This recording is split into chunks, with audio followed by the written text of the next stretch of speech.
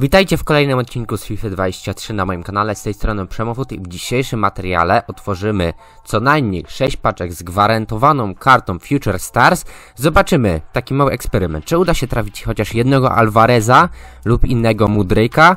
Mam nadzieję, że także odda. Został łapkę w górę oraz suba, a my lecimy z materiałem. Zobaczymy co tutaj będzie. Leci paczka. Poszło w lewo. Pania, elo. No chyba najgorszy możliwy. No najgorszy możliwy, no niestety. Tylko i wyłącznie 8.5, więc nawet to nie jest foder. 19 tysięcy Fran Garcia. No to mamy. Ukończyłem paczkę właśnie przyszłej gwiazdy na moim pobocznym koncie. Przepaliłem te trzy tokeny. Zobaczymy co tutaj będzie. Na nic nie liczę, ale może coś fajnego wpadnie. Zobaczymy. Jaka flaga? Co to będzie? A, to będzie Kudus. 8,8. No to fajny foderek i tylko i wyłącznie tyle, bo nie wiem ile ty kosztujesz Kudus.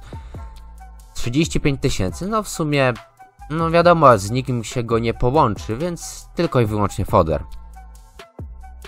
Kolejna paczka przyszłej gwiazdy na moim pobocznym koncie innym, ale zanim ją otworzymy, to sprawdźmy co skrywa dla nas duża złota paczka piłkarzy premium. Jest tu karta gwarantowana 83+.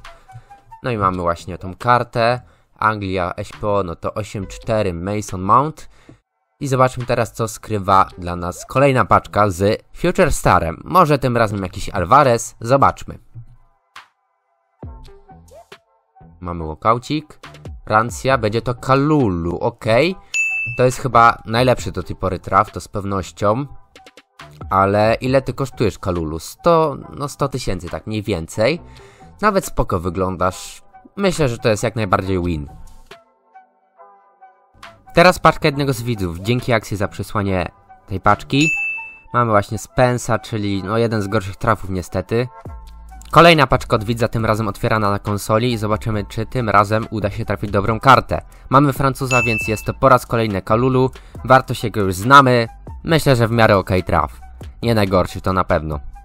Po dwóch Kalulu przyszedł czas trafić coś lepszego. Jestem teraz na legendarnym koncie Bawarski Walet, gdzie właśnie była prowadzona ta seria o tej właśnie nazwie.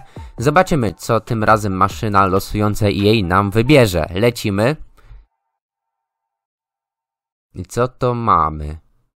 Elangę, więc karta podobna cenowo właśnie do Kalulu. Miałem go na głównym koncie, ale przepaliłem na Hero. Fajnie się nim grał, fajnym był zmiennikiem, ale w sumie tylko tyle. No, karta jak karta. Zobaczmy jeszcze piłkarza 85 plus do wyboru na tym właśnie pobocznym koncie, gdzie była ta seria moja, jedna z ulubionych, jedna z pierwszych. Ale dobra, zobaczmy, czy będzie Future Stars. Nie, jest tylko Arnold, więc overallowo podobnie do tego, co trafiłem z tego pika na głównym koncie. No więc tak wyglądało te 6 paczek z gwarantowaną kartą Future Stars. Najdroższy był oczywiście Kalulu, warty ponad 100 tysięcy.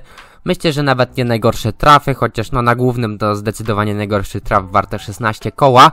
Dajcie znać, co wy trafiliście z tej paczki, jeśli oczywiście ją robiliście. Ja dziękuję za oglądanie tego materiału, do usłyszenia, cześć!